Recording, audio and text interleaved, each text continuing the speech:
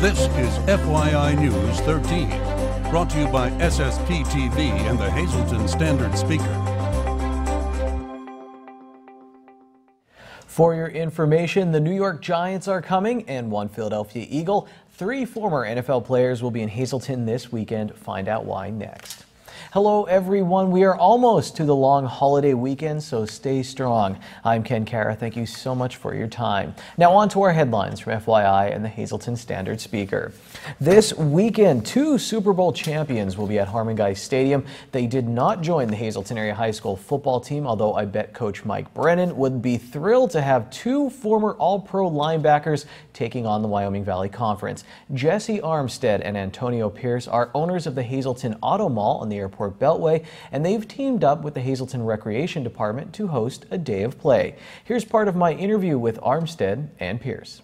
So how did this all come about? I said I saw the Ferrari shirt. Were you a car guy? Were you were you guys just like, hey, let's let's get some car dealerships together? I, I, think with everybody, when you're a kid, you know, let's say you know, 21 years old, you make a little bit of money, you want you like cars. So, uh, what other what what's another better opportunity than just buying the cars, owning a dealership, and having multiple cars? So.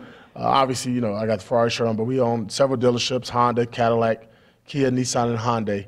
And uh, just been a great opportunity for us post-career, which you see a lot of guys struggle with. Um, I think, you know, for myself, being fortunate to have a guy like Jessie, who's a little bit older than me, uh, having that fruition to look down the road and trying to coattail him a little bit and, and, and, just follow his path. You know, we created a great team along with our other partner, Mike Saporito, uh, of getting into the car business, you know, starting with Honda, then Cadillac, and then coming up to the Hazleton market. That's amazing. And Jessie, let's talk about this. So you coached Antonio, right? So were you like, all right, this guy right here, I think he'd be a good business partner. How, how did that relationship form? Well, it started when we uh, first played together in Washington. Yes, played together too. And we got a bond together in Washington. And uh, when he left uh, Washington, he wound up going to the Giants. And that's the place I just left. So, um, you know, and then I re-signed back with the Giants as being a, a consultant, uh, special advisor for the Giants. And um, I knew he was the guy that I can – help and push and, and give me a Super Bowl ring and wind up giving me two of them. well, thank you for that. So now you guys have the car dealerships. Um, if you don't recognize it, it is right out on the airport beltway here in the Hazleton area, the Hazleton Automall. What drew you guys to the Hazleton area and what do you think of it so far as you're here in Hazleton today? Yeah, it's a, it's a great location. First, um, when uh, Honda did uh, the money to market and this was the location, and we came up and we seen the area and we seen a lot of people, you know, and um, realized that uh, they had picked a great location. So it's not just cars. I mean, that's great. You guys are here. You want to sell some cars, but it seems like you want to invest in the community as well. We have a day of play coming up this weekend for kids, for adults as well. You want to come out meet Super Bowl champions, of course. Why do this? Why do you want to come out? You guys are, you know, big time. You know, you guys are football stars. Why come out and say, okay, we want to invest in the community as well? Well, I like when people say that because before we were stars, before we were big time, we were little guys too. So uh, whenever you can give back to the community, I think myself being from California, Jessie being from Texas, uh, you always yearned for that opportunity to uh, do something within the community, uh, to help little guys, to help families, whatever, to brighten up their day for one day. You know, all the activities that we got going on, food, football, um, you know, different games. Obviously, we'll have cars there as well, so you can have that look. Uh, but it's just a great time to give back, to let people know that you really care about them. Uh, you're not just asking for their business, but you're asking to support them and be involved with the community. And this weekend as well, Jeremiah Trotter will be there. Eagles fans will recognize that name. You said you left him home today, just the Giants guys, Redskins guys over here today.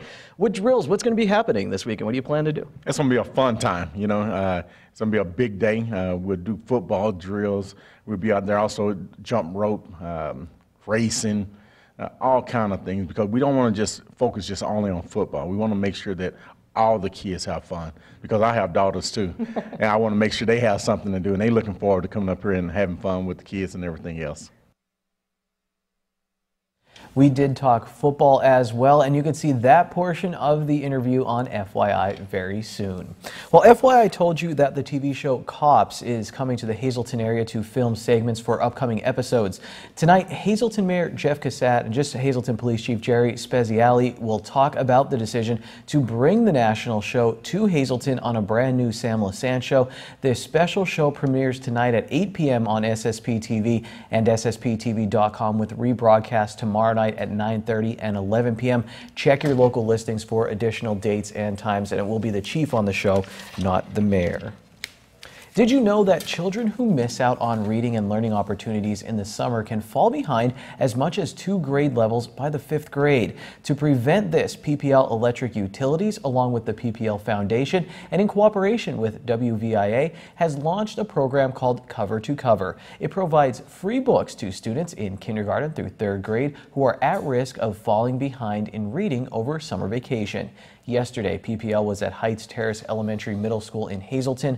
First through third graders were allowed to pick four books to read over the summer. PPL will give away more than 23,000 books as part of the program. Everyone stay calm. I did not forget about Dave Day this week. We just moved it to Thursday because of baseball playoffs. Standard Speaker Sports Editor Dave Seaman is here, and we will preview tonight's big Hazleton area softball district playoff game. And when we come back, our history segment this week features the Markle Building in downtown Hazleton.